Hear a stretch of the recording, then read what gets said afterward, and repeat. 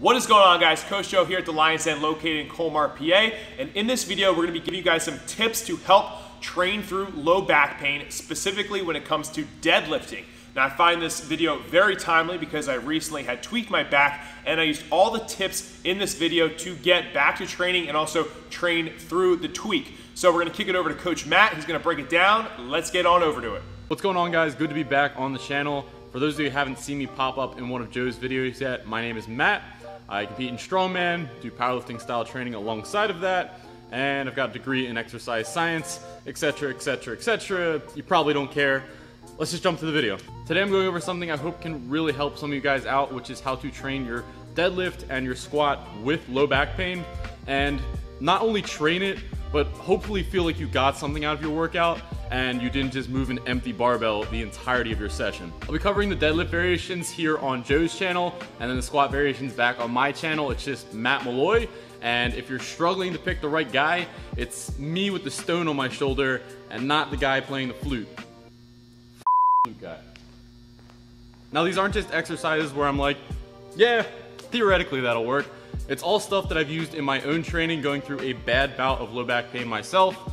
There was a period of time where I was legitimately pulling a trap bar deadlift off of blocks with a single plate on each side and it was killing me and just bending over to pick up plates in the gym was so excruciating that I'd just outright avoid it or I'd let the clients all do it for themselves. I know how frustrating the process of getting through low back pain can be and I know how demotivating it can be to try and go into the gym day after day with low back pain.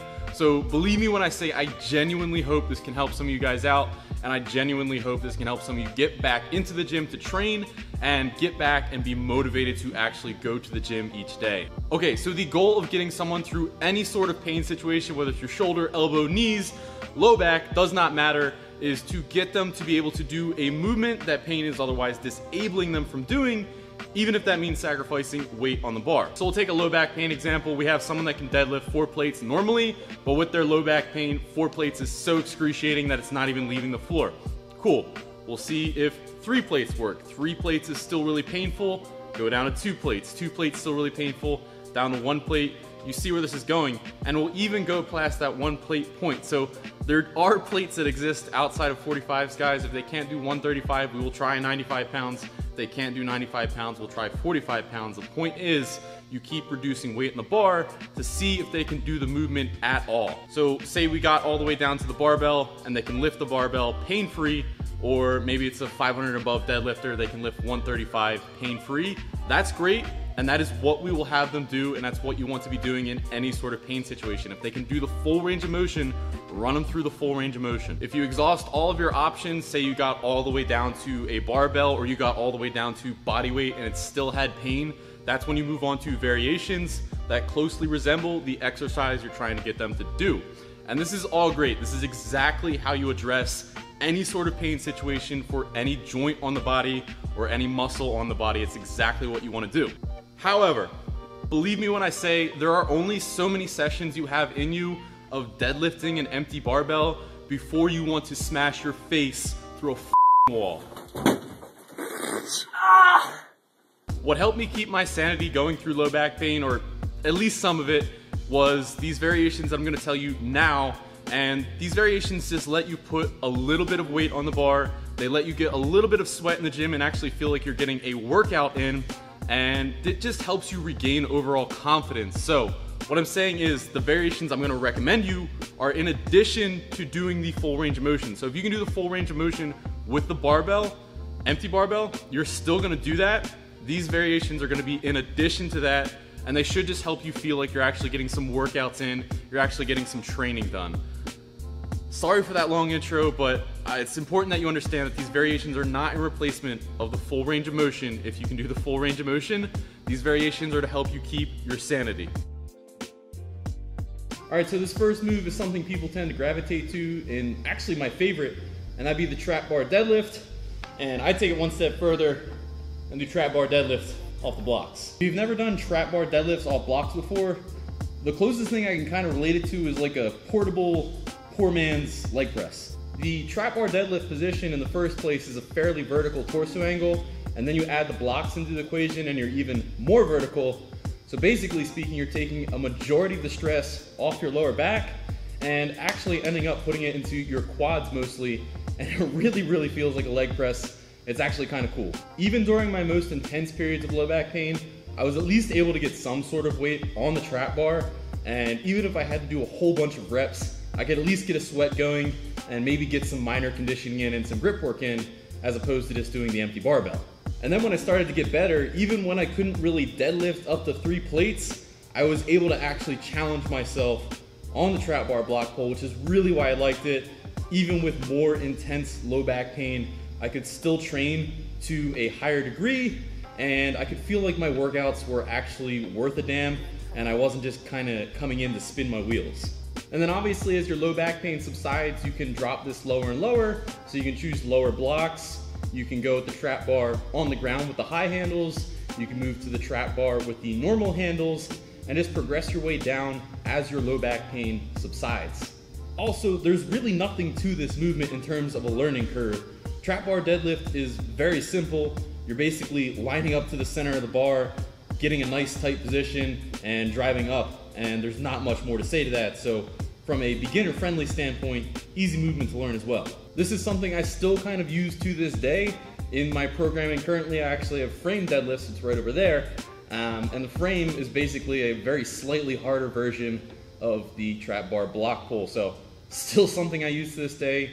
Really, really love this movement. If you have low back pain and you think it's too serious for you to train with, try this out and see if it doesn't work for you before you just completely decide to quit on the gym. Okay, go-to number two is another obvious one, which is the block pull. Now you don't need the fancy wagon wheels to do a block pull. You can obviously do them off of the namesake blocks, or if you're in a commercial gym, you're most likely gonna have to do the rack pull and mess up the barbell, but it's a commercial gym, they're probably already messed up.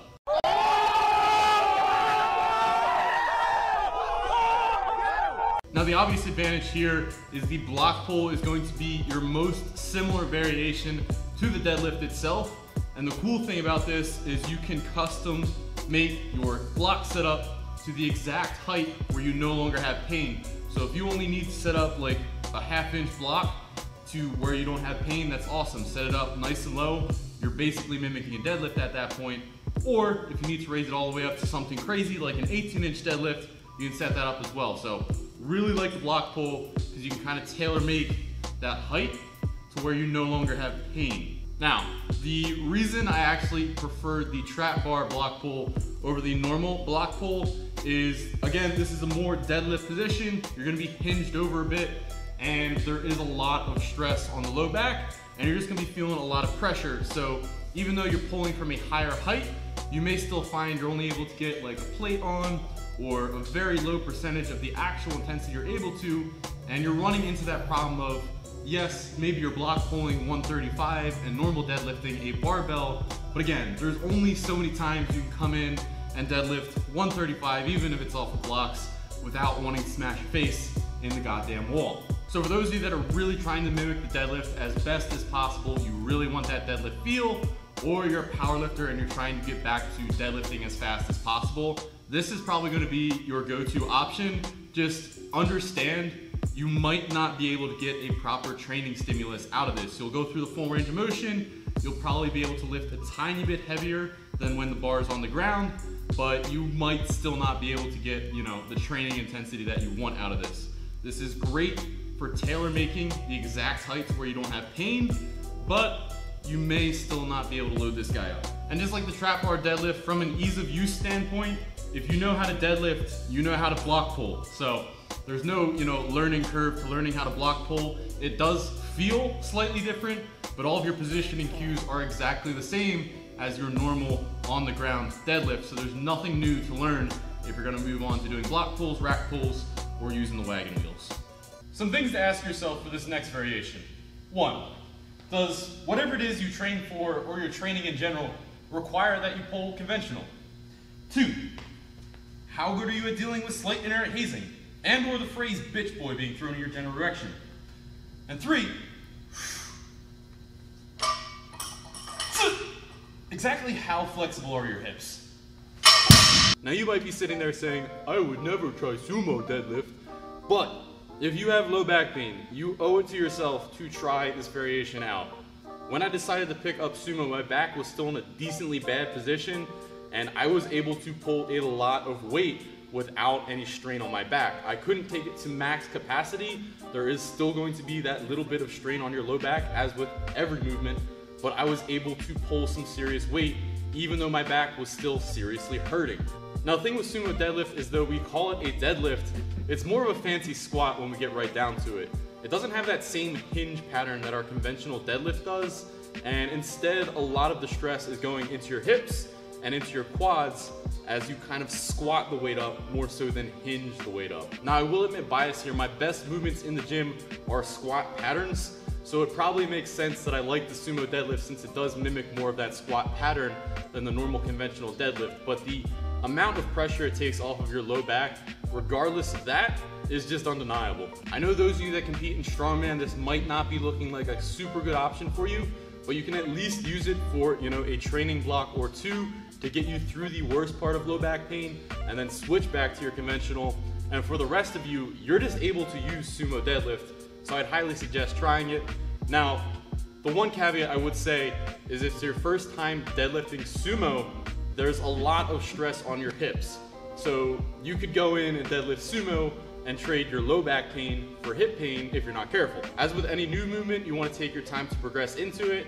And I know with my time sumo deadlifting, that was the thing that was really, really sore was my hips just because they were not used to that position. So take your time with it. The sumo deadlifters of the world do more so complain about that hip pain than they will, you know, low back pain. So don't trade your low back pain for hip pain. Be careful with the movement. Progress yourself as you normally would for any new movement in the gym. As for learnability, you will have to learn sumo if you've only ever pulled conventional, but while people make it out to be this super advanced movement, I don't think it's that bad to learn it to a competent level. Notice I say competent level, not the advanced level. There's a lot of cues going into it. There's a lot of positioning things. It feels distinctly different from a conventional pull, but I don't think is as bad as people make it out to be. If sumo is something you're interested in learning, I'd highly recommend going to Bryce Krawczyk's channel, Calgary Barbell, and learning it from him. He's got a lot of good cues. That's where I learned it from, and I watched his video, and it was basically instant, very easy to learn. So that is something you're interested in, go check that out and learn it proper way first time. Don't just make it up as you go. I'll finish up with saying for sumo deadlift, just set your pride to the side. Who cares about what the internet thinks? This will reduce some pressure on your low back and you'll probably like how it feels. So if you are going through some intense low back pain, again, highly recommend this movement along with the others. So that wraps up the deadlift variations. Like I said, these squat variations can be found on my channel. For those of you currently going through low back pain, I highly, highly recommend giving these a shot. Uh, you may surprise yourself with how well these can feel. And at the very least, just add these on to whatever you are currently doing in the gym. If that's nothing, definitely add these on. I know logically, when you have low back pain, you think bed rest is going to fix this. If I just stay out of the gym for a month, this will fix my low back pain, when it's actually the exact opposite of what you want to be doing. You want to be staying moving as best you can, running through full ranges of motion, even if it's just body weight and keeping active. So I really, really hope this helps a bunch of you guys out. I know how difficult this stuff can be, and I really want to see you guys get back in the gym, those of you that do have low back pain. So, Joe, thanks so much for having me on the channel. Check out the squat video on my channel, and I hope to catch you guys all in some video in the future. I'll see y'all later. So first off, I just want to say thanks, Coach Matt, for making this video. He's an awesome guy and a coach here at the Lions Den.